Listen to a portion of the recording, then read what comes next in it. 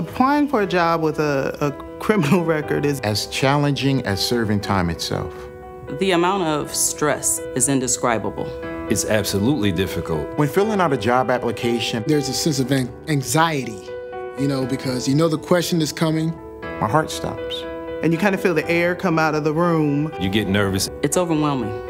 Whenever I saw that box, I can almost see the line in my mind. Have you ever been convicted of a felony? Of a crime? Been arrested? Violated any law? I know that whatever I put in that box is going to prevent me from providing for myself.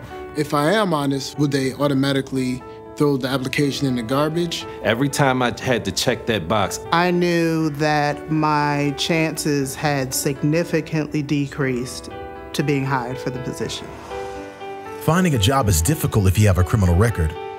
Just ask the more than 700,000 people who leave incarceration each year.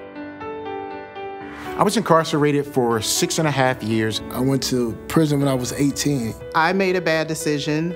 I falsely believed that you do the crime, you do the time, and that's the end. When I came home from prison, your entire life is different. Reentry for women, it's a little bit more emotional.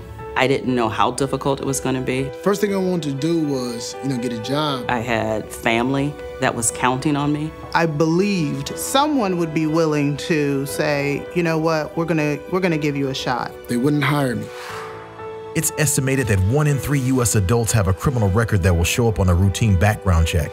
That's at least 70 million people something that you done when you were young continues to follow you. Your criminal record does enter the room before you get there. I do refer to it as an invisible life sentence. It's always there.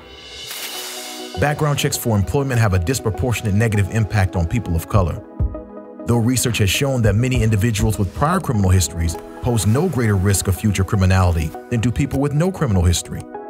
I am thoughtful, I'm dedicated. I'm energetic. I'm articulate. I'm honest. I'm competitive. The main thing that employers need to know about people who have criminal records is that they're people, they're human beings. They just want to take care of their families. I am a veteran, but the truth of the matter is, is no one cares that I served my country honorably. If this is the land of opportunity and second chances, why second chances only happen for certain people? That's why NAACP is encouraging employers to ban the box this initiative asks that employers not ask questions about criminal history in the initial job application stage, and instead ask about criminal history after a conditional job offer is made. Employers may not ask about arrests. They should provide applicants the opportunity to explain their criminal history and allow for evidence of rehabilitation. The Ban the Box initiative creates a path for individuals with a criminal record to have a fair opportunity to prove themselves worthy candidates of the job they seek. I found employment at a telemarketing company. I run a nonprofit. I've been in the waste industry for 12 years now. I am a director of communications and special projects. I'm a doctoral student in the Howard University History Department. People returning from prison who gain employment are one third less likely than their counterparts to return to crime and are more capable of turning their lives around permanently. We do need Ban the Box. Ban the Box is a move in the right direction. There are so many Americans walking around our streets with broken spirits because employment opportunities are denied them. Ban the Box is a substantial first step. We need everybody working. We need other substantial measures that will allow people to work to provide for themselves and their families. More than 17 states now have fair chance hiring laws on the books and key national retailers have enacted their own policies that help people with conviction histories make a real contribution to their communities instead of being permanently excluded. But more work is needed. Join the NAACP's initiative to ban the box.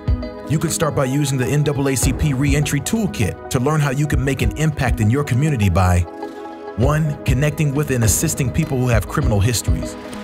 2. Educating the public about the challenges people with criminal histories face. Three, engaging with state and local lawmakers to pass fair chance legislation that applies to their contractors and vendors, abides by the EEOC guidance of 2012, and requires transparency throughout the background check process.